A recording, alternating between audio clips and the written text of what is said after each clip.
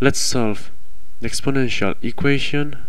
3 raised to 2x minus 3 raised to x minus 6 equals 0. We have an exponential equation because, as we can see, the x, the known value, appears on the exponent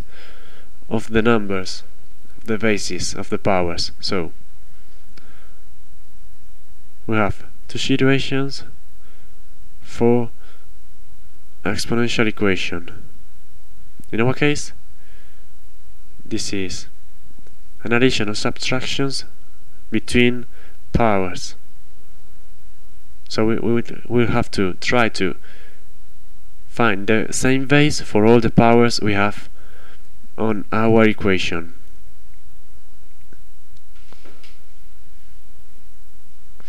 So, as we can see, 3 raised to 2x is the same as 3 raised to x and everything squared. And minus 3 raised to x is the same and minus 6 is equal 0. And now, as we can see, we have 3 raised to x on both powers. So, let's make a change of variable that is just calling the 3 raised to x z and that would be z squared minus z minus 6 equal 0 now let's solve this second degree equation.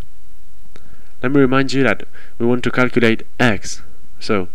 for this we, first we will solve the second degree equation of z and then substitute it by dx. So so solving this it is the same as the coefficients of this equation are 1, minus 1 and minus 6 so the formula for the second degree equation is minus minus 1 that is minus b plus minus the square root of b squared that's minus 1 squared minus 4 times a that is 1 times z that is minus 6 divided by 2 times a 2 times 1 and now operating this we would have minus minus 1 is plus 1 plus minus the square root of minus 1 squared is 1 4 times 1 times minus 6 is 24 divided by 2 and that this is the same as 1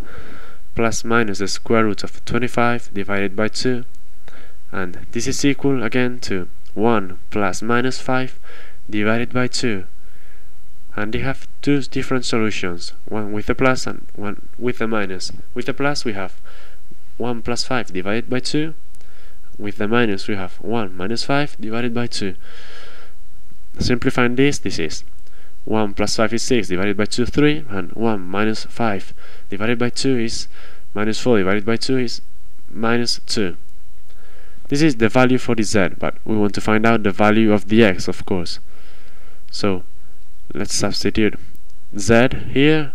by 3 so we will have 3 raised to x equal to 3 that is equal z and the second solution would be 3 raised to x equal minus 2 from the second solution we have that 3x 3 raised to x is equal to minus 2 we have a power a positive power equal a negative number. So from here we cannot obtain any solution because a power raised a positive power raised to something cannot will not be negative number. That is the reason of not obtaining any solution. And from the first solution we would have that 3x 3 raised to x equal to 3 raised the same as 3 raised to 1 and we can make the exponents equal from here and we would obtain that the x is equal 1 so this is the solution for the given exponential equation x equal 1